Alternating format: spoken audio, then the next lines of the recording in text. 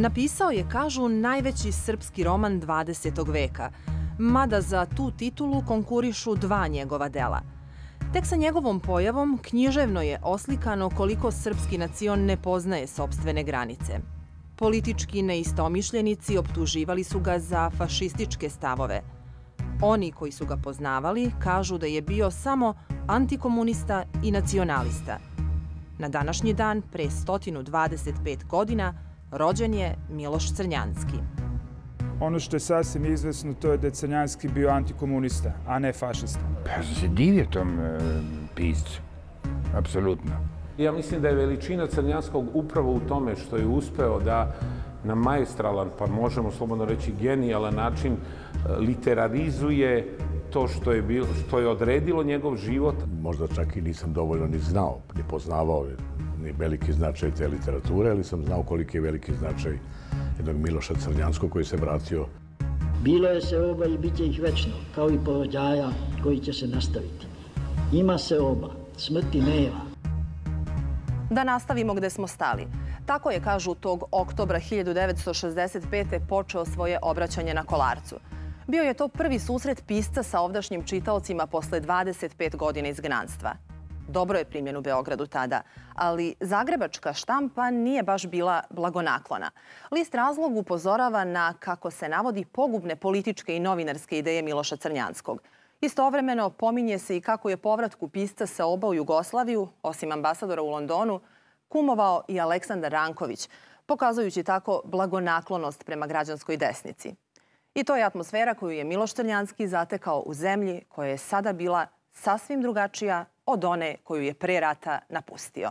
Postoje podaci da je on bio osobno uplašen nakon pada Aleksandra Rankovića zato što je mislio dakle, da neki ljudi koji su tada zaista u Jugoslaviji igrali veliku i značajnu ulogu Krleža, na primjer, da su mogli da mu naude i da su mogli da mu, da mu naštete.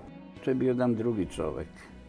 Izgužvan, preplašen, sa ožiljcima apatrida, sumnjičav, U ovoj istoj sobi je za jednog mog prijatelja odmah pretpostavio da je britanski špijun, bojao se britanskih špijuna, bojao se svega i svačega. Imao je razloga da strahuje, naravno, zbog onih sukoba koje je imao. On je e, pre rata e, optuživo Nolitovce da su komunisti, to je pisao u novinama, komunisti, bolševici i tako dalje. To su uh, ljudi iz Nolita proglasili u svom odgovoru jeli, potkazivanjem. Bio sam zanimljiv više kao povratnik iz emigracije, kao emigrant, nego kao književnik, rekao je. Mi Srbi smo kratka daha, kratko cenimo i slavimo nekoga, brzo zaboravljamo. U Srbiji su zaboravljeni i veći ljudi od mene. Mladost je gnev i pobuna. To su njegove reči u jesen 68. posle čuvenih studentskih lipanskih gibanja. Ako niste nestrpljivi u mladosti, u starosti će vas stići kajanje, uzalud. Mislim da sam dobro upamtio reči izgovorene setno u redakciji studenta. Dva put je bio sa nama, svi su ga pažljivo slušali. Još čujem njegov okotrljajući glas. To što je u studentu objavljena kratka vest o posjeti Crnjanskog redakciji, a ne razgovor sa njim, govori da je on bio još pod prećudnim embargom, ili bolje reći i dalje sporan pisac. Student je važio za levičarski list i bio je takav, a Crnjanskog su držali za desničarskog pisca ili pisca poraženog kraljevskog režima. Na fakultetu su posebno isticali njegov list ideje kao primer piščevog skretanja ka fašizmu, na što se mrštio ni manje ni više nego jedan Miroslav Krleža. Ubrzo je i na to stavljena tačka. Udruženi izdavači Svjetlost Sarajevo, Beogradska prosveta i Mladost iz Zagreba najavljuju štampanje sabranih dela. Gostuje u Sarajevu kod Meše Selimovića, a potom i u drugim gradovima tadašnje Jugoslavije. Na tim književnim večerima prati ga i tada mladi student glume. To je bilo eto, skoro pre 50 godina. Mene obuzme neka milina kada se toga setim, jer to je sadašnje osjećanje. A tada sam imao veliku tremu i obavezu i naravno sam vodio računa kako ću to da kažem i šta ću da kažem, možda čak i nisam dovoljno ni znao, ni poznavao ni veliki značaj te literature, ali sam znao koliki je veliki značaj jednog Miloša Crnjanskog koji se vratio u zemlju koji je već odmah bio ovenčan slavom i priznanjima i velikom pažnjom tada. I ja sam govorio i neke njegove pesme, da li to bio Ditiramb, Sumatra i tako, koji su mi ostale uvek negde u ti delovi kao da je pečat neki ostavio. Ali najveći doživljaj je u stvari čuti njega. On je imao običaj da govori neke svoje delove, ali je voleo da govori lament nad Beogradom i to je u stvari doživio kao kad čujete neku simfoniju. Ti međutim rasteš u zornjaču jasnu, savalom avalom plavom u daljini kao breg. Ti treperiš i kad ovde zvezde gasnu i topiš ko sunce i led suza i lanski sneg. U tebi nema besmisla ni smrti. Ti sjajiš kao iskopan stari mač. U tebi sve vaskrsne i zaigra pa se vrti i ponavlja kao dan i detinji plać. A kad mi se glas i oči i dah upokoje, ti ćeš me znam uzeti na krilo svoje. Taj način govorenja poezije je toliko redak. To je možda negde imala neku sličnu uh, melodiju ili melodijom se služila Desanka Maksimović. Ali on je tu i sa svim svojim tim uh, R koje je govorio i sa svim tim svojim, ali ta emotivan odnos prema onome što je pisao i ta svaka logikom potvrđena reč u pesmi. A pesma je, kako kažem, kvintesencija, jedan tako sažetak koji nema ni manjak ni višak svega onoga što hoće da kaže. I onda, kad vi govorite pored njega, osjećate se jako beznačajni. A onda sećam se tih njegovih, a ne mogu reći, zluradih komentara, o svojim ili kolegama ili čak i prijateljima. Bio je, bio je neviđeno uh, daroviti cinik. E, I to je mene radovalo u to vreme, pogotovo me takve stvari su me najviše radove kad čujem takve neke, neke događaje ili njegove komentare na, na nečiju ličnost i delo. Tada je već pet godina kod kuće, a tačno četiri decenije, pošto su njegove seobe proglašene za roman veka po oceni Srpske kraljevske akademije, Miloša Crnjanskog predlažu za članstvo u Srpskoj akademiji nauka i umetnosti. Predrag Palavestra navodi da su Dobrica Ćosić, Dušan Matić i Mladen Leskovac predložili da odmah bude biran za redovnog člana. Uz Ćosića referat je pisala i Desanka Maksimović. Ipak, Akademija odlučuje da bude primljen za dopisnog člana, što Crnjanski očekivano odbija. Ali taj događaj opet otvara priču o večitoj margini i poređenjima sa njegovim značajnim savremenicima. Na nekoj vrsti margine jeste ostao, to se mora da prizna. Mislim, e, on nije ušao u komunističku partiju kao što je ušao Andrić. Ali ne samo to, nego e, Srpska akademija nauka i umetnosti primila ga kao dopisnog člana što je njega gadno uvredilo. Kaže, tu, tu je bilo mojih učenika, ili ovaj, e, kako dopisni član, prvi stepen, on mora da ide redom. Uloge su podeljene. On, ja ne vjerujem da se mnogo aktivirao Andrić. Dovoljno da je nekome rekao, treba samo legitimno i legitimite da bude ispravan i već su poradili štitonose ono što treba da urade. A je li tačno da je... S tim što ja mislim da on nije to ni uzimao toliko dramatično. On je, on je bio toliko siguran u svoje delo da njemu to nije ni bilo potrebno. On je, on je toliko bio superioran. To je više za tu našu građansku, čašijsku priču od kolarca do orača, da je da nije ušao akademiju. Ne bih volao da se uopšte smisao srpske kulturne istorije svodi na jednu takvu opoziciju. Mislim da je ona prilično površna, iskonstruisana, naprosto reći o dva potpuno različita pisca. Ako sad hoćemo baš nešto da kažemo, rekli bismo da je Ivo Andrić bio sigurno socijalno prilagodljiviji čovek. Kad pogledate njegov opus, razumete zašto je on to tako radio. On je na taj način branio integritet sobstvenog dela, stavljao ga je nekako kao, kao e, uslov i krajnju posljedicu sobstvenog života Kod Crnjanskog to dobija u velikoj meri mnogo tamnije i drugčije tonove i tu se onda na liniji praćenja tih biografija u stvari može razumeti ponešto iz, iz kulturnih promjena ne samo Srbije, nego i južnoslovenskog prostora i evropskog kulturnog prostora onih decenija ili toga veka u kojem su oni živeli. Tih 70-ih godina Andrić i Crnjanski često se susreću na terazijama u šetnji. Andrić, Nobelovac, institucija. O njemu je brinula država, dodvoravali su mu se čak i nekadašnji nadrealisti, koji su se opet klonili Crnjanskog. A pre rata bili su prijatelji, čitali su jedan drugom rukopise. Ne samo da su čitali, nego su jedan drugom posvetili, posvetili pesme. I to, moram da kažem, zanimljive i lepe pesme. Crnjanski je ipak dobio jedno priznanje koje je Nobelovcu već na početku izmaklo. 1972. uručena mu je Ninova nagrada za roman o Londonu. Prethodno je dobio i nagradu za životno delo udruženja književnika, ali kao da sva ta priznanja nisu značajnije uticala na njegov društveni položaj. On je ovde bio unutrašnji e, e, izgnanik. izgranik. Znate, on je očevidno vrlo dugo bio, moglo bi se kazati, na tom belom hlebu. Njegova novinarska karijera, on, e, e, šta se pisi ideje, ono što je u njima, u njima pisao, to je ono što je donekle kvarilo utisak, međutim to nije uticalo na prijem njegovih dela.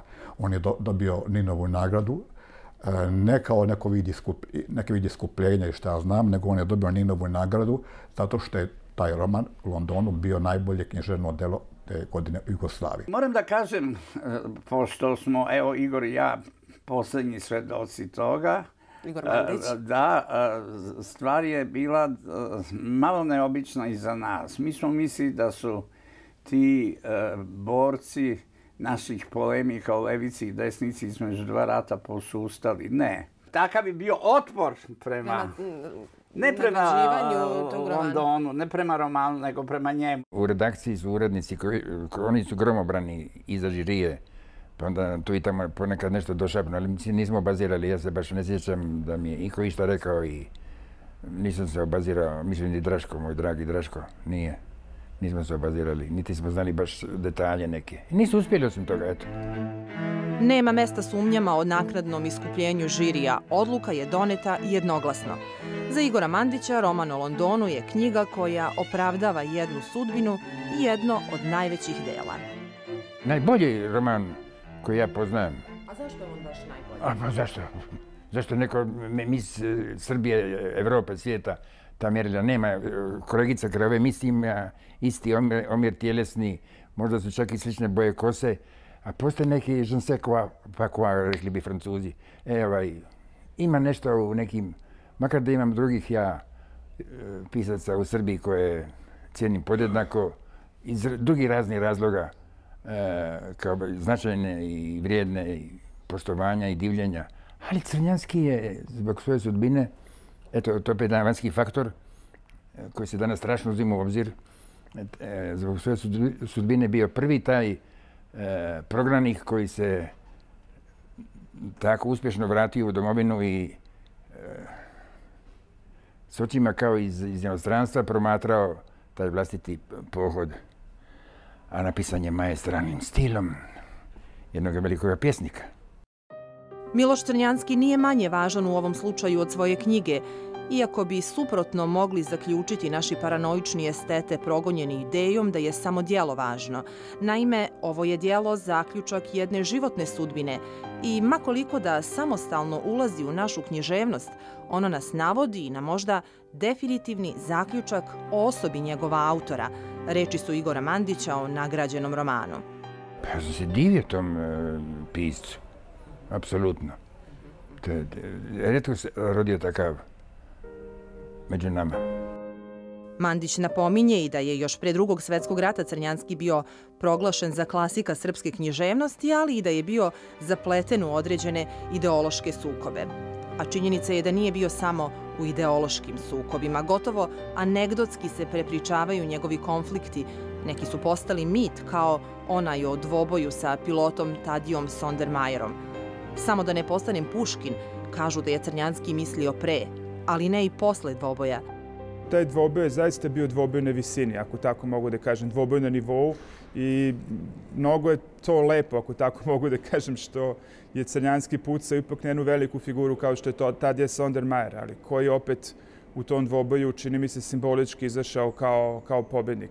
Ali mislim da i ta činjenica, dakle, samom činjenicom što uopšte nije hteo da puca na Crnjanskog, nego je puca u vazduh. Pazite, to je prva polovina 20. veka. Svet se oprostio od tog načina komuniciranja mnogo decenija pa i stoleća ranije, ali Crnjanski čak ide i do tog nivoa, jeli, sukoba, da to tako nazovem, i bez ikakve sumnje taj njegov e, stav koji on ispoveda, nedvosmislen, beskompromisan, mora da proizvede i odgovarajuću kontrareakciju. Pokazuje nam zapravo koliko on zaista bio veliki čovek, ako ništa drugo, zato što je smeo da stane pred jedan pištolj kad niko to drugi nije obično radio, pošto su dvoboji tada, kao što ste rekli, zaista bili već i zakonom zabranjeni na svim mestima, sem tamo gde su se oni odlučili da, da upere pištolje jedan u drugoga.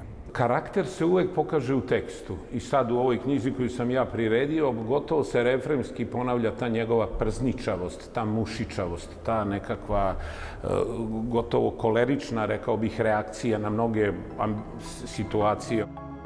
Neki kažu da Crnjanski potvrđuje antičku tezu kako je čovek u karakter sudbina, a neki drugi da je sudbina podnebljem uslovljena. Tako je bilo i u Velikom ratu kada je nosio jednu uniformu, a navijao za onu drugu stranu. Čini mi se da je taj oficijski pogled na svet, oficijska čast, oficijski koncept života, nešto što je Crnjanskog ipak e, u velikoj meri obeležavalo, posebno u drugoj polovini njegovog života. I to nema veze dakle, sa njegovim učestvovanjem u Prvom svetskom ratu, koje, kao što sam rekao, nije bilo na pravoj strani, on je to vrlo dobro znao. Ta protivrečnost uredila je da, kao austrougarski vojnik, Crnjanski bude na pogrebu Franca Ferdinanda, ali i da, nešto kasnije, napiše pesmu posvećenu Gavrilu Principu, Spomen Principu. I tu nije kraj razmišljanju o Sarajevskom atentatu.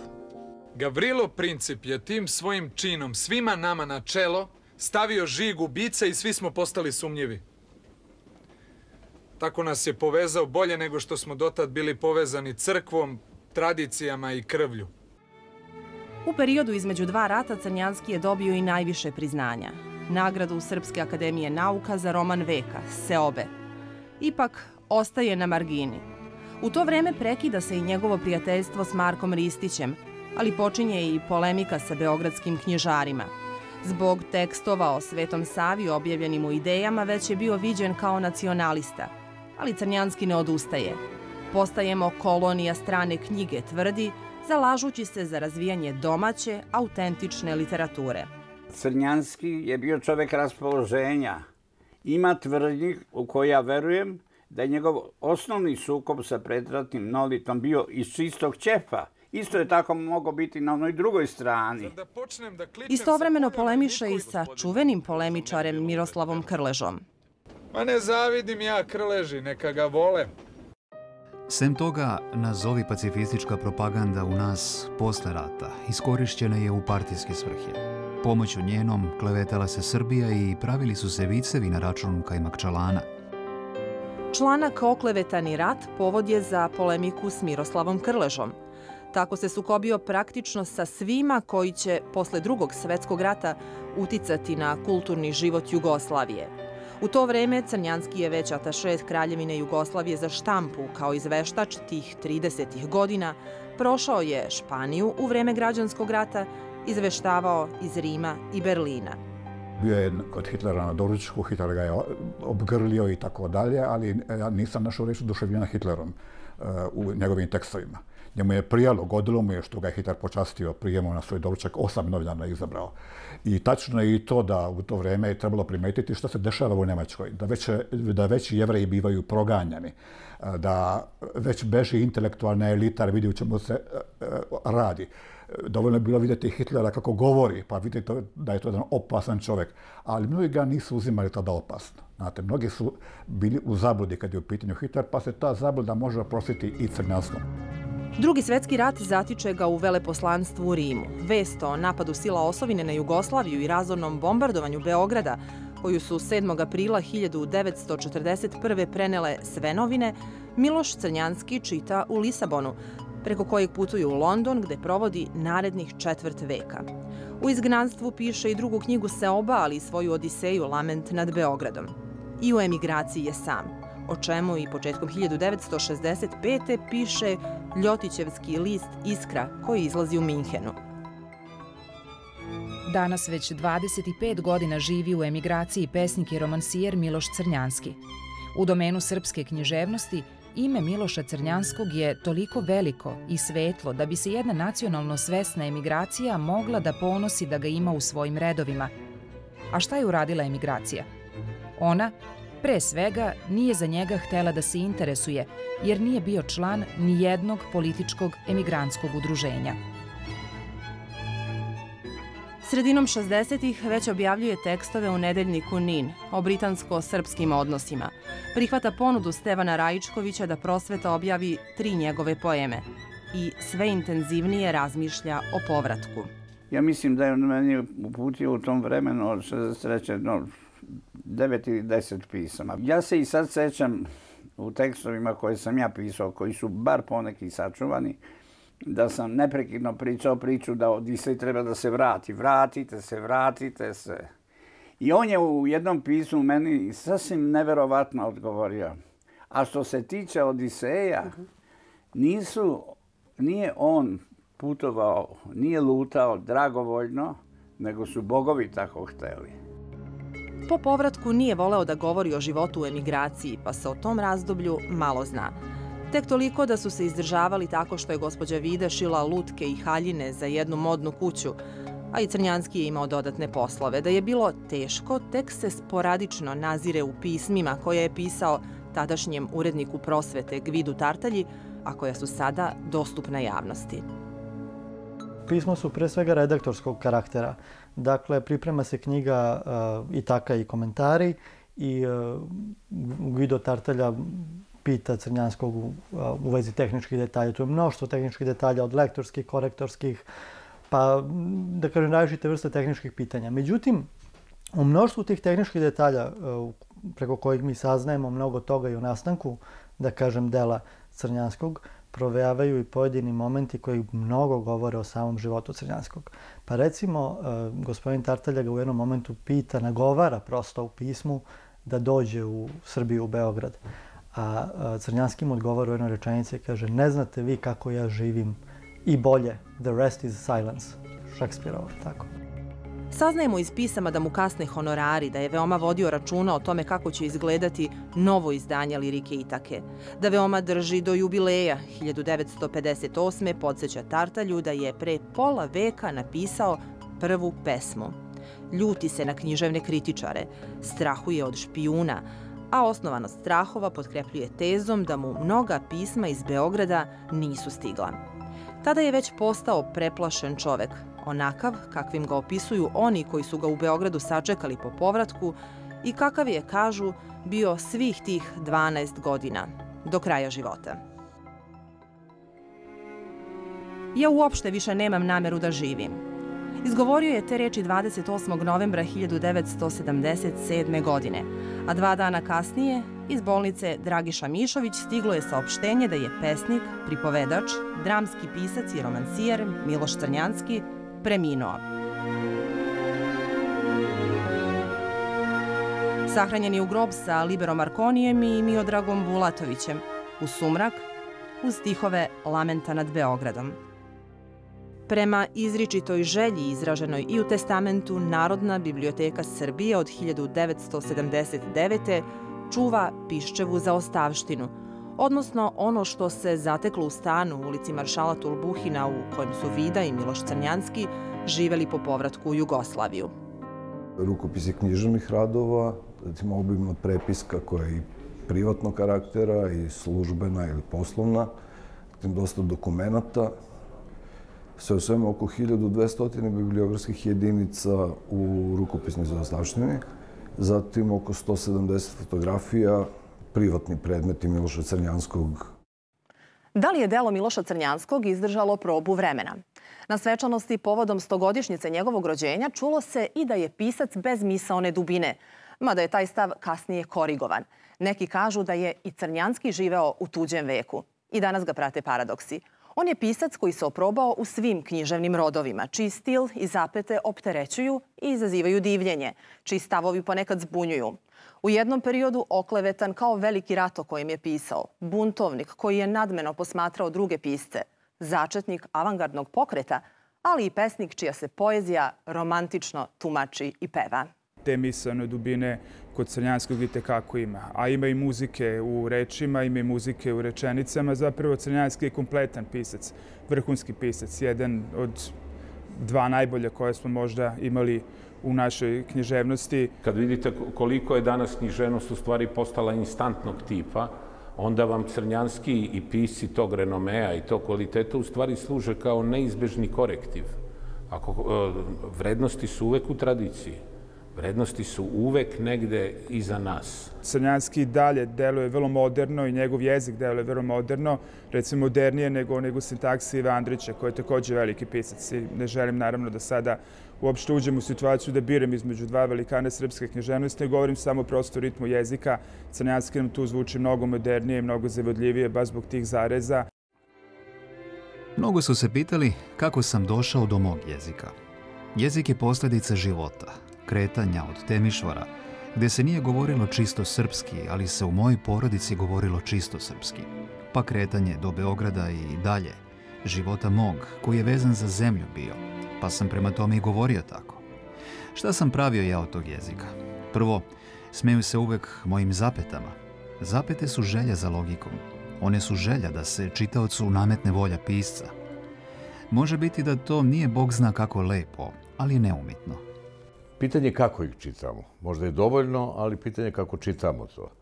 A zaista, a, pored sveg te mitomanije kojim smo mi skloni, raznoraznih udvorišta i toga sličnog, ne smijemo da zaboravimo da imamo izuzetno vredne dramske pise, izuzetne pesnike, izuzetne romansijere. A mislim, ja bih rekao da je E, naša kulturna baština, celokupna, u najvećoj vrednosti u stvari u piscima koje imamo i koje smo imali. Pisac je, e, bez obzira kakav stav prema tome zauzima, pisac je uslovljen jezikom i kulturom koji pripada i tradicijom kojim pripada. Dakle, da nije bilo te velike istorijske priče i generala Simeona Piščevića i e, jeli, studiranja istorije Miloša Crnjanskog i njegovog permanentnog obrazovanja kroz ceo život, mi ne bismo imali danas tako genijalno delo kao što su se ovdje. Kažu da je planirao da napiše šest tomova seoba, ali nije stigao. Još pre povratka u zemlju, zamislio je da film po tom njegovom delu snima Saša Petrović, koji je umeđu vremenu postao politički nepodoban. Kao da je sudbina seoba da ostanu otvorena tema. Pa ja i o tome imam jedno pismo još iz Londona, Crljanskog da je želeo Sašu, ali on politički nepodoban. I tada nalazi lista ljudi koji se meni kao producentu nude. Koji bi htjeli da Ali koji nastrano talent, ali koji ima to jednostavno nije fah. Ko je sve hteo da radi? nije, ne radi se o tome da li je hteo nego ko je nuđen. Pa ko je nuđen? Nuđen je Šotra, nuđen je Žilnih, nuđen je Velimirović. Ali je Saša ipak uspeo, onako već umoran. U drugoj polovini 80-ih tek. 87. godine je on uh, uh, snimao seobe. To ni približno nisu one seobe koje on video.